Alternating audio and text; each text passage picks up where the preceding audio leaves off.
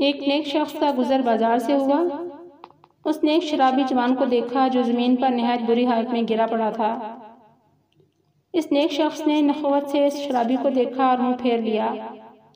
शराबी अगरचे मुकम्मल होश में न था, लेकिन इसने महसूस किया, इसने मुझे नाकबिल नफरत समझा है, इसलिए मुँह फेर लिया है। शराबी जवान ने ऐसे मुखातब करके कहा, ए नेक शख्स तो अल्लाह अजल का शुक्र अदा करके तेरी हालत में जैसी नहीं है। अगर तुझे नेकी की तोफीक मिली तो इसे अपना कारनामा न जान और न ही इस पर मगरूर हो। आज़ादी की हालत में अगर किस तू किसी कैदी को देखे तो उसे बुरा ना जान। हो सकता है किसी लम्हे तो भी कैद कर दिया जाए। ए नेक शख्स, अगर तू मुसलमान है तो तुझे ईमान की ज़रूरत नसीब हुई है तो इसे अपना कमाल ना जान। बल्कि अल्लाह अजल का खसूसी करम है कि तू मुसलमान है।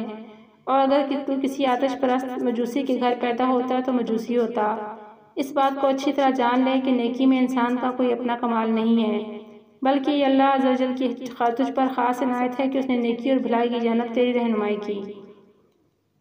हज़रत शेख सदी रहमत हकायत में एक शराबी जवान और एक नेक शख्स का किस्सा बयान करते हैं कि नेक नेक शख्स ने शराबी को देखकर मुँह फेर लिया तो शराबी ने उस नेक शख्स से कहा कि अल्लाह अजल का शुक्र अदा कर कि तेरी हालत में जैसी नहीं है और उस पर मगरूर ना हो।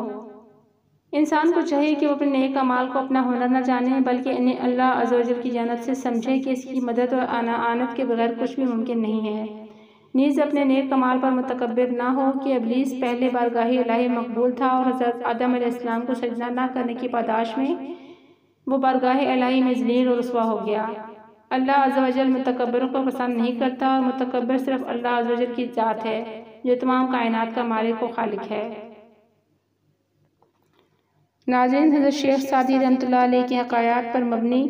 ये सिलसिला मैंने शुरू किया है, जिसमें दिलचस्प मालूम आगे भी आपसे शेयर करती रहूँगी। आपने अगर अभी तक मेरा चैनल सब्सक्राइब नहीं किया तो चैनल सब्सक्राइब कर लें, ताकि आपको तमाम वीडियोस की अपडेट बर वक्त मिलती रहे। चैनल देखने के लिए आपका बहुत शुक्रिया। सलामत और शाद रहें। अल्लाह हाफिज़।